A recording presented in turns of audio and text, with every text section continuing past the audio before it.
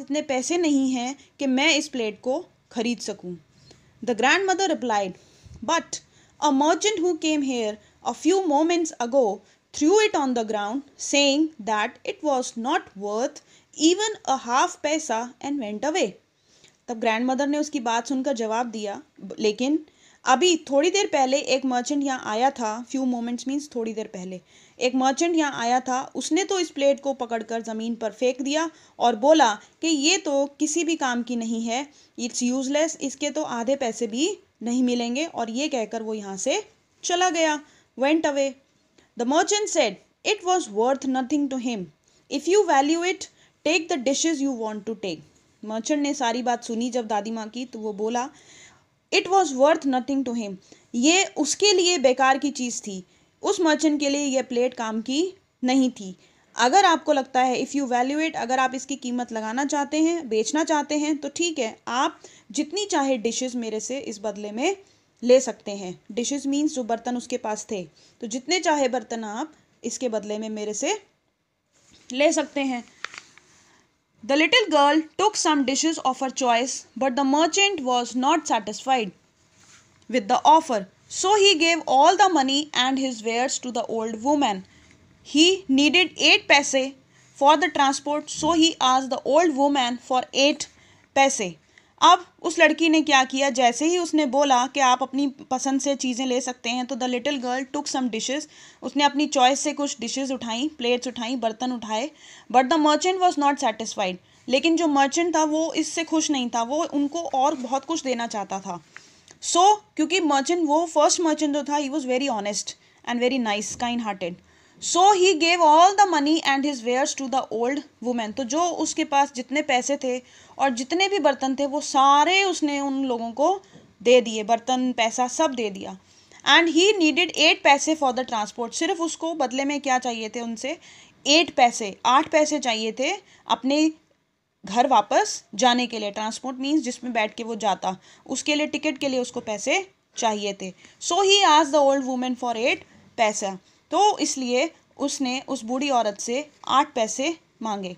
The old woman readily gave him the amount फटाफट से उस औरत ने उसको पैसे दे दिए। The merchant took the paise and left the place merchant ने वो पैसे लिए और वो वहाँ से चला गया।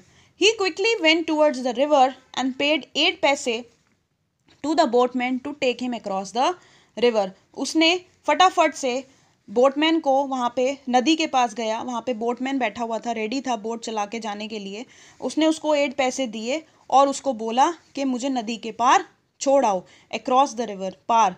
Soon the greedy merchant went back to the house of the old woman अब जैसे ही वो वहाँ से चला गया, थोड़ी देर बाद वो लालची मर्चेंट जो था, वो वापस उस बुढ़िया के घर, उस ओल्ड लेडी के घर, जो बूढ़ी औरत थी, उस ओल्ड लेडी के घर दोबारा पहुँचा। When he reach the house he call the girl and said bring that plate and I will give you something for it जब वो वहाँ पहुँचा, उसने उस लड़की को आवाज़ लगाई और बोला, जाओ, वो प्लेट लेकर आओ and I will pay give you something for it मैं उस प्लेट के बदले तुम्हें कुछ दूँगा.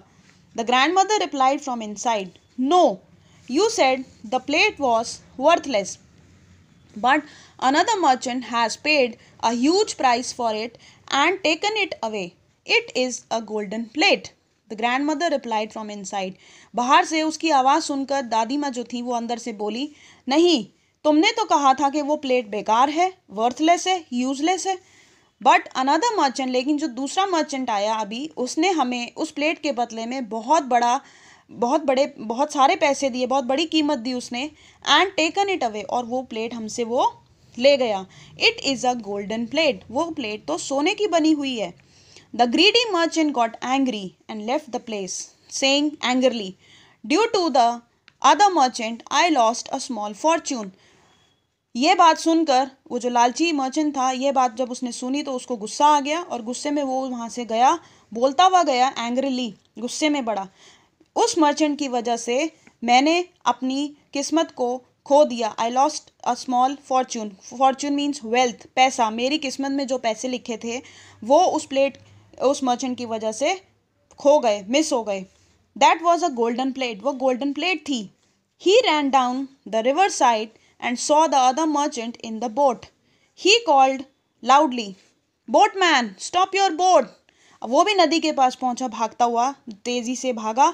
नदी के पास पहुँचा और उसने देखा कि दूसरा जो मर्चेंट था, वो बोट में बैठा हुआ था। See he is the boatman and he is the man first merchant he sitting in the boat second merchant जो था ही कॉल लाउडली उसने ज़ोर से आवाज़ लगाई बोटमैन स्टॉप योर बोट इसको आवाज़ लगाई बोटमैन को बोटमैन बोट रोको, रुक जाओ।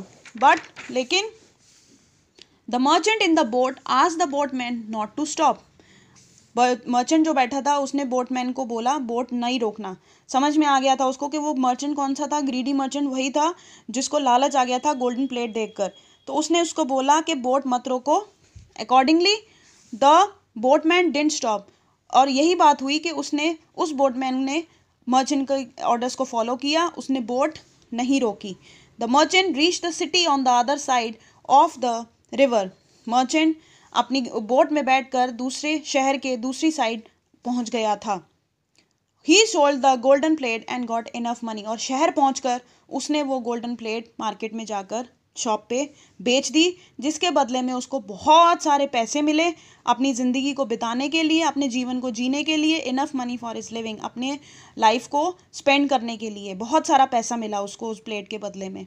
ही लिव्ड हैप्पीली देयर आफ्टर और उसके बाद से वो वहाँ पे शहर में अपना घर लेकर, अपना घर बनाकर हँसी खुशी से रहने लगा। So childrens this was the story which tells us that we should never be greedy उसको लालच आ गया था। उसने पहले वो प्लेट मिस कर दी, दोबारा वो प्लेट लेने के लिए पहुँचा when he again went back to take the plate but that plate was not there it was missed from his hands उसके हाथों से वो प्लेट मिस हो गई. Then after that he felt very sad and upset so we should never be greedy about anything so this is the chapter the merchant of Seri okay students okay